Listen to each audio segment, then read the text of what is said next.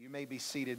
If you'll take your copy of, there's an outline there in your worship guide. If you're new this morning, it's also in a, the Bible app. If you happen to have the Bible app, you can certainly uh, go there as well. It's also there as well. But this last week, we've been talking with our kiddos about raising their game of, of walking in the power of the Holy Spirit and by maybe taking their walk to a new level. And for some, it was finding Christ as Savior and Lord. They had never made that decision to trust Christ, and they, they did that this week. And some were taking steps in that direction. And this morning, I want to kind of continue in that thought about Thursday night. We talked about the fruit of the Spirit in Galatians. So if you have a copy of God's Word, if you take and turn to Galatians chapter 5, it's in the New Testament. You can go to Matthew and take a right and go about, about six or seven books over. You'll find the book of Galatians. If not, it'll be on the screen here in just a moment. What we're talking about with our, your children about what it means to follow Christ. I don't know if we are able to get those bottom line slides. I know that I got those for you. And our bottom line, let me just tell these for you um, this morning, our kiddos, we talked about the first day that God wants you to know Him. That's the first thing. We talked about Abram uh, and, and his following God. We then talked about you can know God through his word. We talked about King Josiah and, and the understanding they'd forgotten about God's word, but he had rediscovered it and they valued and the importance of God's word. Then we talked about that God sent Jesus to save us. We talked about the story of John the Baptist and baptizing Jesus and the importance for us to know Christ as our Savior and as our Lord. And we talked about those ABCs with your boys and girls on Thursday about it, admitting to God they were a sinner and asking to forgive them of all their sins, to believe that Jesus Christ was the Son of God and is the Son of God. And He came and died for them and rose again. The concede to confess Him as Savior and commit their life to Him as Lord. We talked with them about what that means. The fourth day, we talked about Pentecost which is the time the Holy Spirit was given uh, on this earth in Acts chapter 2, and that God sent His Spirit to help you. That was the fourth day's bottom line. The last one was you can help others to know God. We ended talking about helping others know God. And the fruit of the Spirit talks about ways we can demonstrate to a lost and dying world what a follower of Christ looks like. What does somebody look like who has trusted Christ that follows him, what does their life look like? And Galatians chapter 5 talks about what that looks like.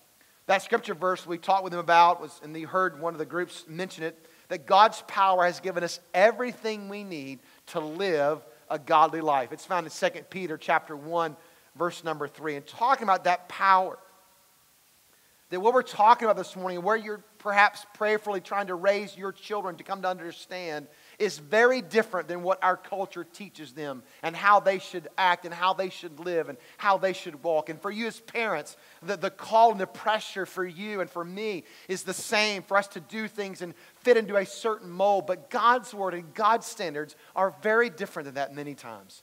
Now, there's sometimes some crossover, certainly that is the case, but by and large, our culture and our flesh and our world are diametrically opposed to the way that God has called us to live.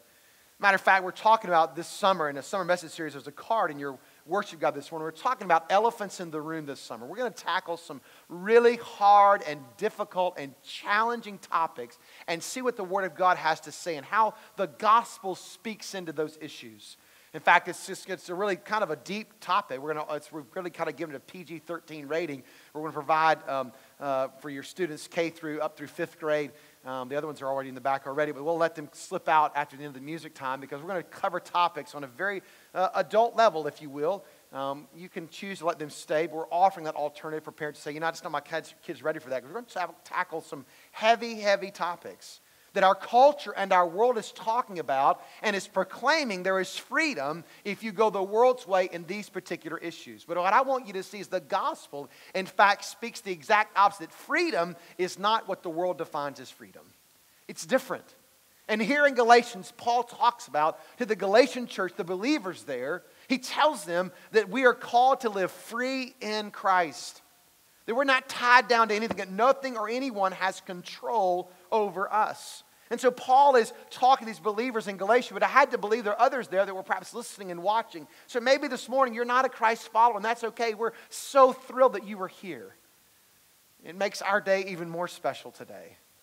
But maybe you're, you're a seeker, you're listening, you're learning. Maybe you grew up in church as a child, but you've been out for a while. But I want you to listen and hear these encouraging words today that talk about how we can be a follower of Christ and what that is to look like in comparison to that of the world.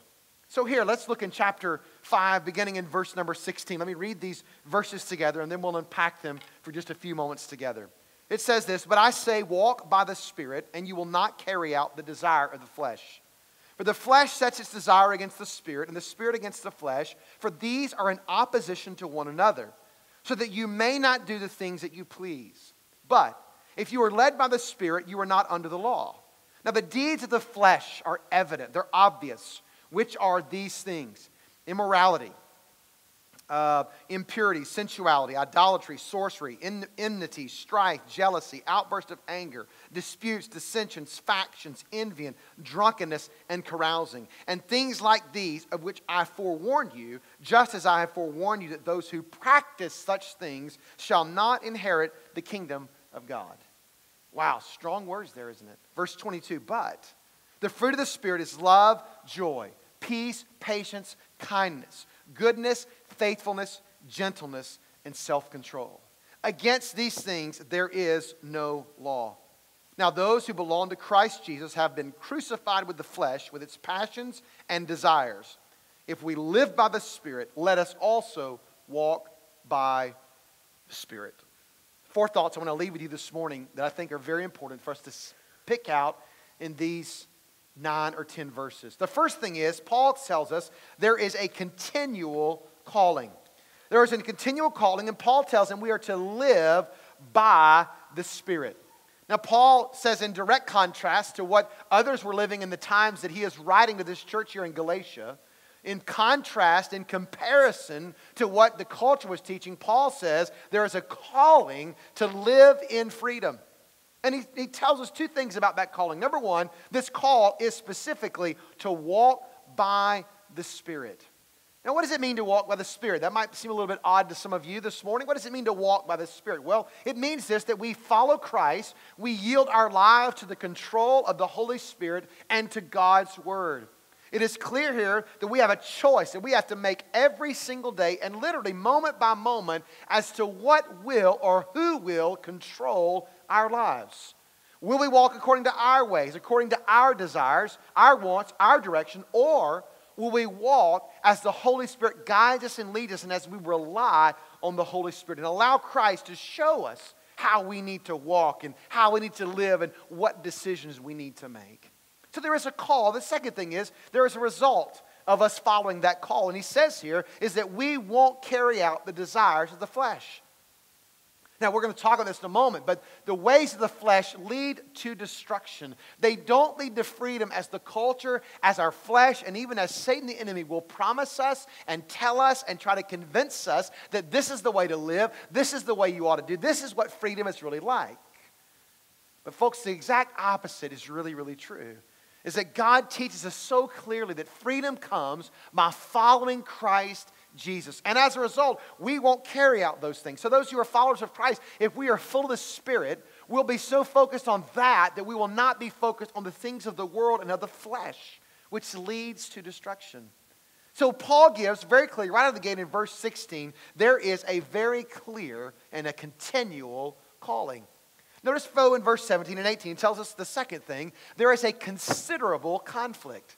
There is a considerable conflict. We're talking about a major conflict. Now, sometimes you might have seen TV shows or movies where there's this, uh, there's a, a, guy that's got an angel on one shoulder and a, a, devil on the other, right? And there's this battle between the good and, and bad and evil, right? I want to take that, and that is a, a decent analogy to start with, right? But let's take it much further. It is not that whimsical. It is not that, uh, that easy. In fact, it is the exact opposite the Bible tells us there is a conflict, there is a war that is going on between our flesh and between our spirit. Even for those of us who know Christ as Savior and Lord, there is still a drawing to our old way of life. There is a drawing to the flesh, and our, we're bombarded with it in our culture, and our day, all the time. Now, as believers, we're not called to put our heads in the sand and pretend it's not there. In fact, we're called to do the opposite. We're supposed to be in the world, just not of the world. And so, how do we avoid and how do we deny those things? Well, we heard the calling. We're to be full of the Spirit of God. But there is this conflict. We need to recognize the fact there is a conflict between the spirit and the flesh. And why is that? Because here's the, here's the truth the outcomes, the results are vastly different. They are diametrically opposed. The way of the world and the way of the culture and flesh tells you this. Listen to me carefully. It is your way, right away, all the time, how you want it, how you like it. You're free. You're free to do anything and everything you want to do. That's what our world says is the way to freedom. But in fact, what we'll find as we talk about this summer, that only leads to being enslaved. It only leads to addictions. It only leads to brokenness. God's way is the best way. God's way is the right way, boys and girls, as we talked about this week. That we follow His path and His truth for our lives, then we'll be on the right path. You see, it comes down to really two things about this conflict. Number one is all about control. It's all about control. Have you seen that video from times gone by where somebody would say, You ain't the boss of me? You seen that? Right? You're not the boss of me, right? We love as adults, whether we think about it or not, we like to say that nobody is the boss of me, right? I determine what I do. I'm going to do what I want to do. And secretly, whether we say it or not, I say it all the time, right? When I get in a vehicle, I have to drive because I have to be the boss. I have to be in charge. It's a control problem, right? So I, I think to myself, I'm a better boss than anybody else when it comes to driving. And I might even tell you that as you pass me or as you get in my way or as you, you know, whatever. Hopefully, very Christ like, of course, I hope. Right? We all tend to tend to buck under authority. We don't like it. Our flesh says, I want to do what I want to do.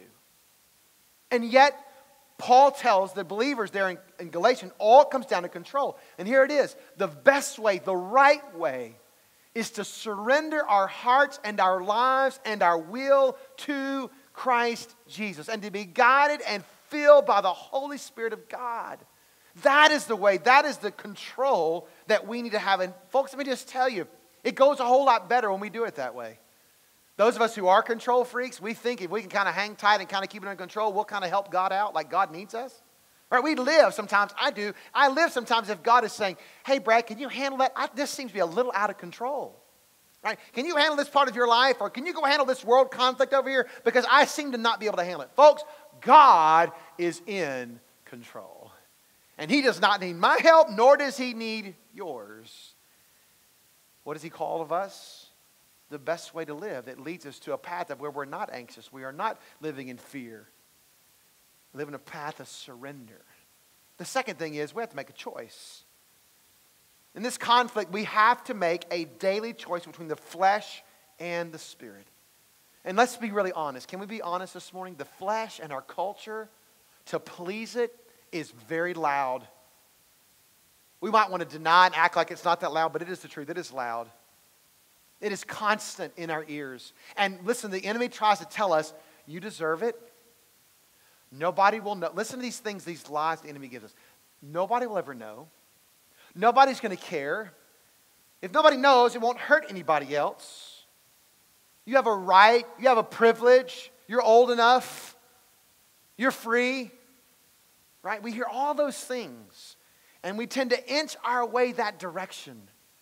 When the way that Christ calls us to the narrow path, not the wide path that leads to destruction, but the narrow road that leads to life, is to make a daily choice to give my life to Jesus. Now, that's something we do one time. We give our lives to Christ. But this idea of a daily decision we have to make will we walk in the Spirit or will we walk in our way, the way of the flesh, the way of the enemy, the way of our culture? Notice the third thing this morning. There is a clear contrast. There is a very, very clear contrast. Paul tells us in 19 to 23, these verses here, there is a clear evidence. Now, he calls it fruit. The results, the outward effect of how we choose to live our lives. So, when I decide that I'm going to live a certain way, if I decide that I'm going to live by the flesh and live by the way of the world, then this is the result of what my life will look like if I live the way of Christ. And he tells us this is what it's going to look like. He calls it fruit, right? It's what he kind of talks about here. Hence why we see the fruit of the Spirit.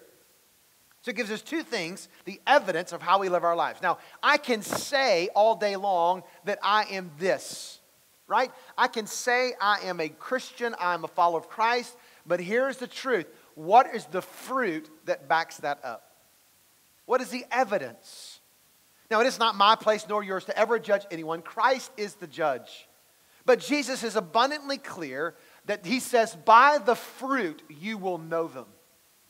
Right? So the evidences of our lives should indicate who it is that we follow, who it is that we have surrendered our lives to, who it is we've made the choice to surrender to Christ.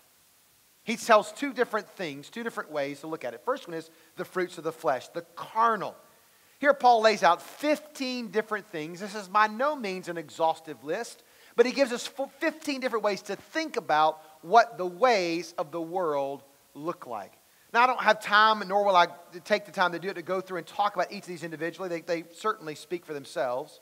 Let me just read it again from a different translation to give us kind of an idea of what we're talking about here. This is from the message translation. So it kind of talks about, well, let me read it from the good news translation. Here's what it says What human nature does is quite plain it shows itself in immoral, filthy, and indecent actions. In worship of idols and witchcraft, people become enemies and they fight. They become jealous and angry and ambitious. They separate into parties and groups. They are envious. They get drunk. They have orgies. They do other things like these. I warn you now, as I have before, those who do these things will not possess the kingdom of God. Paul very clearly tells us what these are like. And some people kind of divide these in four different categories. He talks about sexual sin, he talks about religion, he talks about, and not in a good way, and he talks about relationship and indulgences, how we indulge our flesh.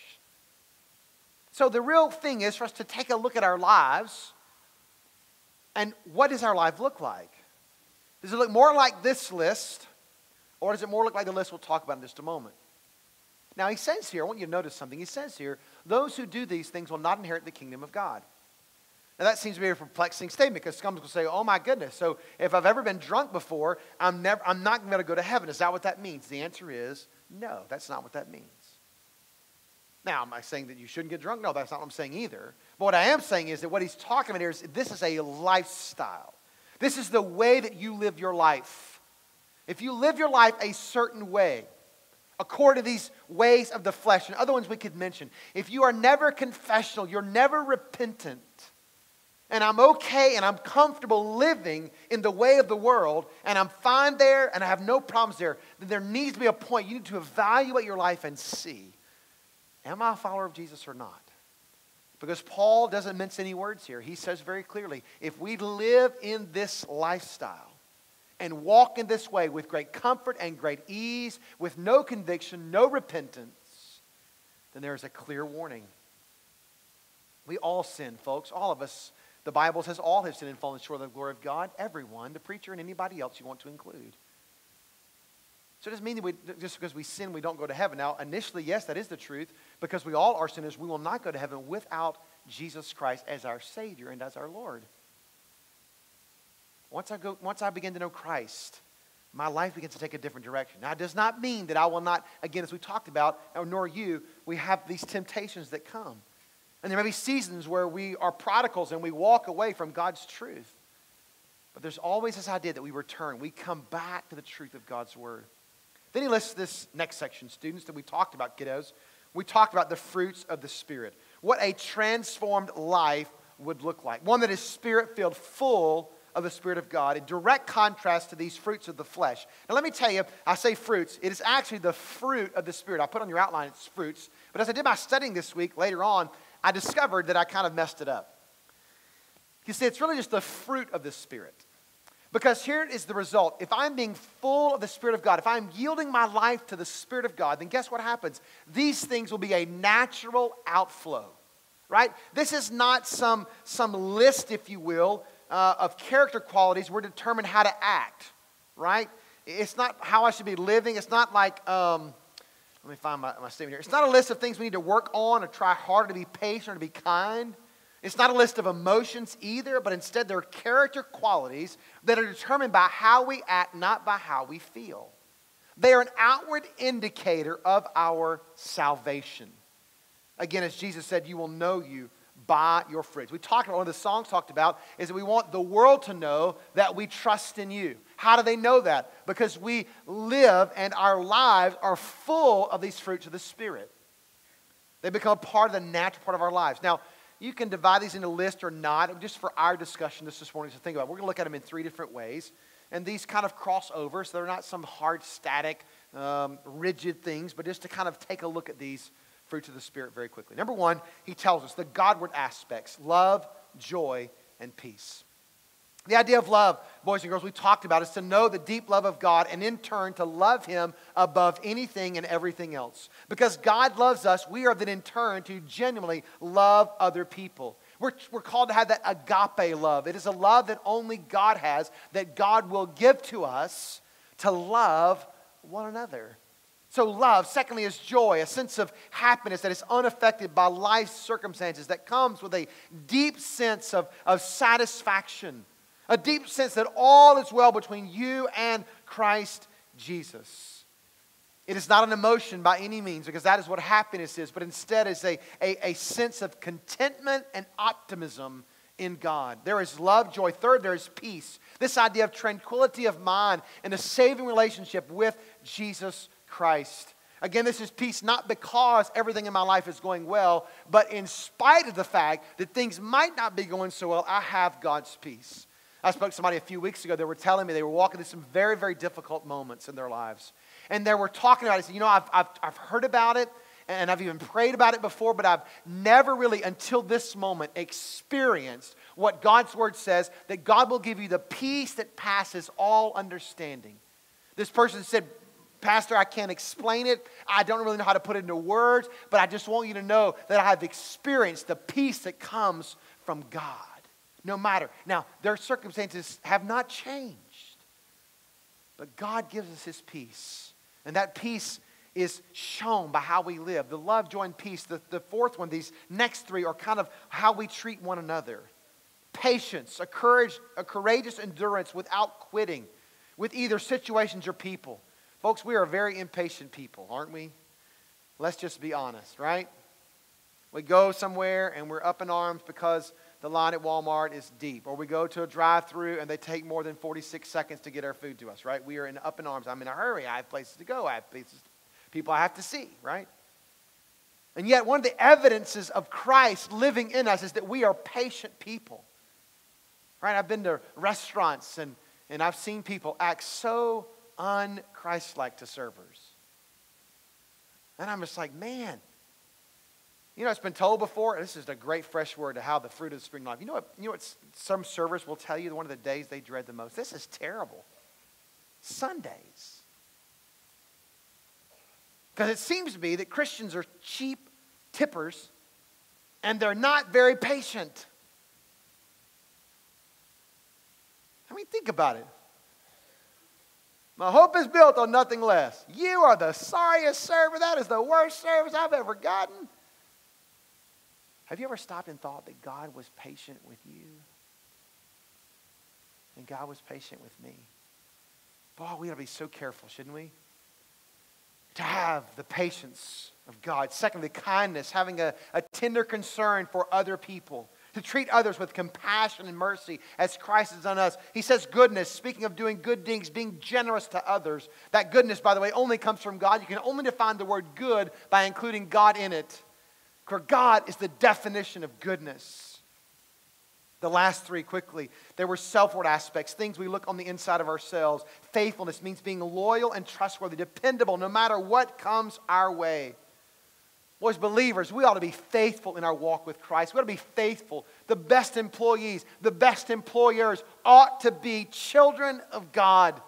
Well, if I had a dollar for every time I've talked to somebody that has a business, and here's what I'll hear almost every single time I can't find faithful, dependable people who either want a job or who show up for a job on a regular basis.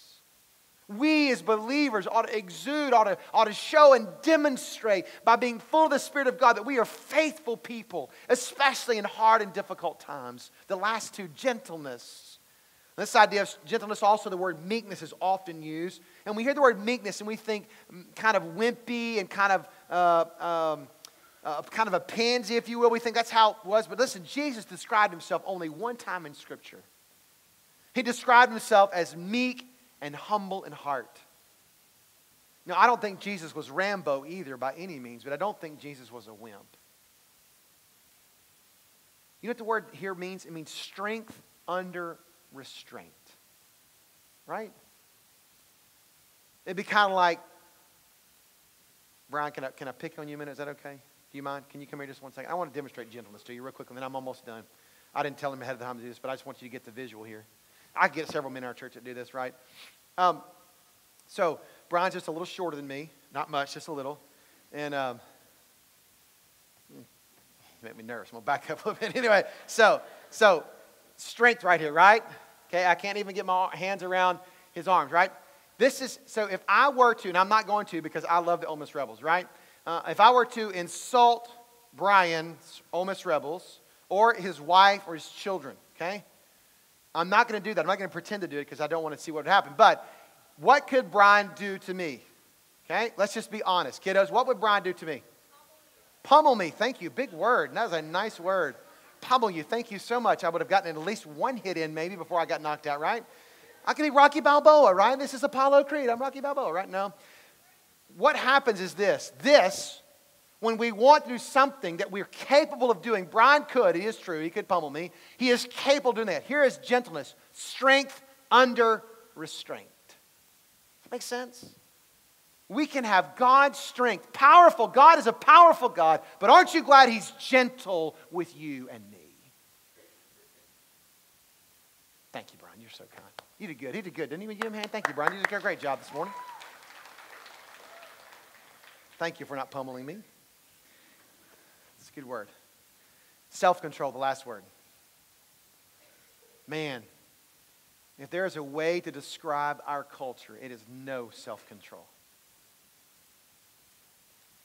Our world has abandoned itself, our culture. There is no self control. It's whatever you want, however you want it, whenever you want it. And yet, as believers in Christ, we are to restrain our passions and appetites, to hold our tongue or our temper.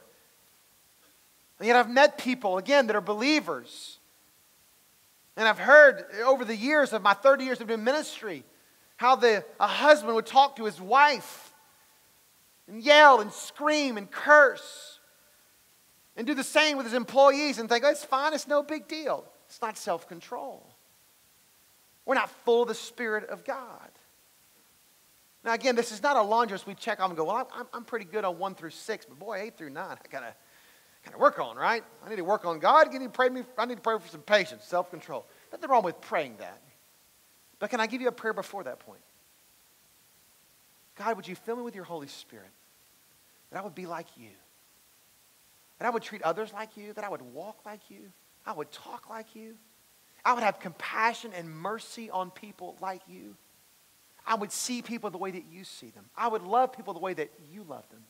Lord, fill me with your spirit that I could have joy even in the midst of sorrow and difficulties. Give me peace in the midst of a storm because I'm standing on the solid rock. See, it comes, we're full of the Spirit of God. The last point, and I'm done this morning, is this is there's a certain conquest as we end this morning. He tells us two things about this conquest in verses 24 and 25. He says, Believers belong to Jesus. Believers belong to Jesus. He tells us early in Galatians chapter 2, he says, I have been crucified with Christ. Indicating this, that he has been crucified. Christ was crucified on our behalf and as a result, our flesh, when we find Christ as Savior and Lord, has been crucified. Our sins have been forgiven, washed away. If we will accept that truth, ask for forgiveness, believe, confess Him as Savior, commit our life to Him as Lord, then guess what? We have been crucified with Christ. But now there's a part for us to play. Now, here's what I know to be true, folks. Some of us can decide today, I'm just using examples and easy when it comes to my mind. Maybe you have a problem with a colorful language, all right? And you're, I'm, I'm gonna, I'm not gonna do that tomorrow. I'm gonna do that. Can I just give you a word? You might do great tomorrow. But by Thursday, most of us, including myself, will have forgotten the four wonderful points of my sermon. But be honest, it's okay. That's why we give you an outline. Hopefully, you can refer to it later. You can watch it online later, listen to it. Here's what I know to be true our, our, our um, it's the right word, our, our desire, our want to, our commitment usually isn't real good. Because it's not about what we do, it's about what Christ does in and through us that matters. See, it goes back to that decision. I have to trust in Christ, but then I have a part that I have to play, right? I have to yield to the Spirit, but then I have a part to play. I have to discipline myself to read God's Word. I have to discipline myself to be full of the Spirit of God. I have to discipline myself to, to have these fruit of the Spirit in my life. There's a part I have to play. I can't just say, well, I love God and then go out and live like the devil, right? I have to make some conscious decisions. I have to choose to reject and turn my back on the world and the flesh that calls me and walk in the Spirit. Even though it will yell loudly at you it will call you, it will pull you. But yet, Jesus says, if we are full of the Spirit of God, what does it say? Believers will live and walk in the flesh. Four thoughts. Consciously, consistently, and courageously this week, say no to sin. Repeatedly remind yourself of who you are in Christ. Pursue God's will his desires, and His calling no matter what. No matter the cost, be full of the Spirit of God. Forsake your weaknesses and depend on the strength of God. Dear friend, our desire for you, if you don't know Christ as Savior and Lord, is that you would know Him. Now, see, what the, we know is that sometimes we can counterfeit the fruits of the Spirit. You know, I've met people that really probably have all these characteristics. They have these fruit of the Spirit. They're really nice people. They're full of love. They're joyful. They're at peace. They seem to be. They're kind. They're gentle. They don't lose their temper. But they're not a follower of Christ. See, here's the difference. Watch this. Don't miss this as we close. If I'm full of the Spirit of God, my life will do what we talked about, boys and girls, on Thursday it will bring glory to the name of Jesus. That's what it'll do. People will be attracted and drawn to you because of who they see living in you and through you. If it's not, it'll draw attention to yourself. Hopefully, when people say to you, Wow, I see this difference in you, you simply say, I promise you, if you knew my heart, Sometimes it's sinful and wretched.